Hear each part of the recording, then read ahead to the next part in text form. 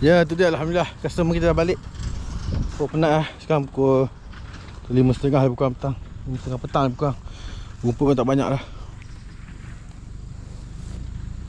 ha, Yang sebelah sana tu kita kena racun lagi. Saya tunggu Alien. Ha, Macam tu lah kot nama dia.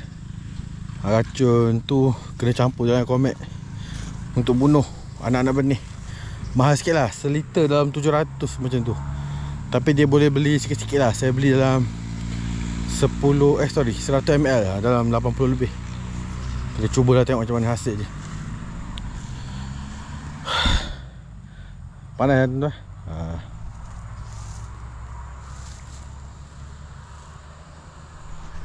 nampaknya dah sampai masa untuk kita membaja lah. Ok insyaAllah kalau ada masa ni saya dua ni kita akan baja lah. Sementara nak meracun ni Tu hari ada yang tanya saya kat komen tu.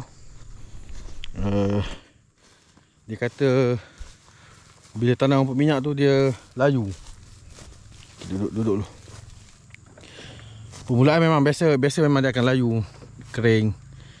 Janji siram awal-awal tu kita siram lah. InsyaAllah. Kalau yang tu tak cambah pun dia akan cambah Yang baru, anak baru.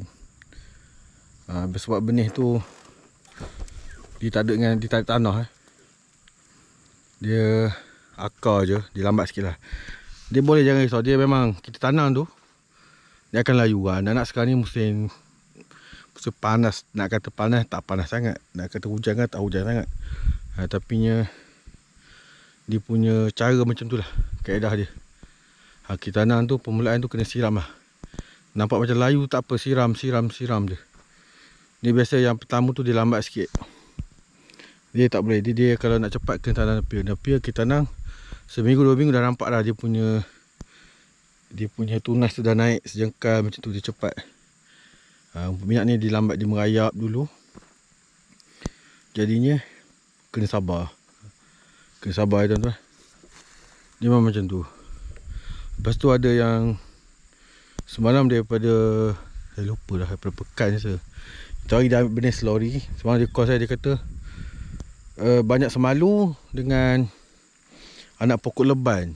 Ha, anak pokok leban. Tu saya terkejut juga tu. Semalu tu tak pelik anak anak pokok leban tu. Dah tinggi-tinggi tu dia kata umur minyak dia naik tapi banyak anak pokok.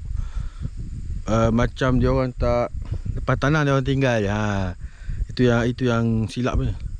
Dia 2 bulan pertama tu kalau boleh dua bulan pertama tu tuan-tuan kalau tanam tu jangan jangan orang kata jangan tinggal lah. Kena dua hari tiga hari sekali tu masuk kebun. Tengok ada anak-anak kayu.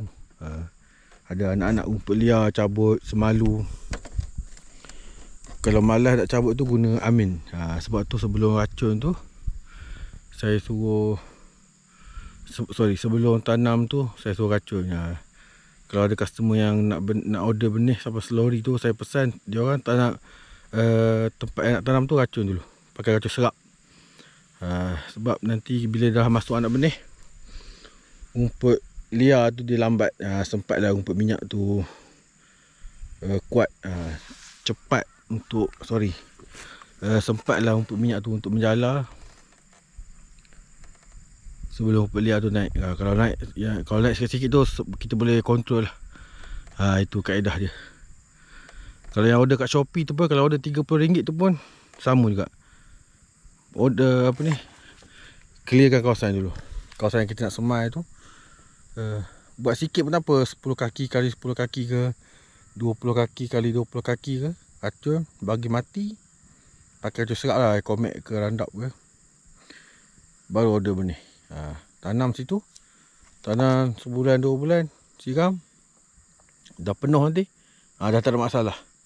Kalau nak tanam seekar pun Benih dah banyak. Ha, Ambil dari situ je Itu kaedah dia ha, Kadang-kadang ada orang Dia kata Nak cuba sikit ha, Cuba sikit pun kalau Betul penjagaan dia ha, Macam saya lah Dapat sikit Asa genggam macam tu je benih Kering je ha, Alhamdulillah Sekarang pun ha, Tengok belakang tu dah luas dah Dah ramai yang benih kat sini okey. Itu sajalah.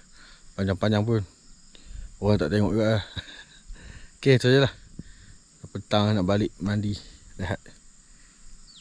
Biasa biasa pagi hari ni biasa petang, panas sikitlah. Kalau pagi tu sejuk.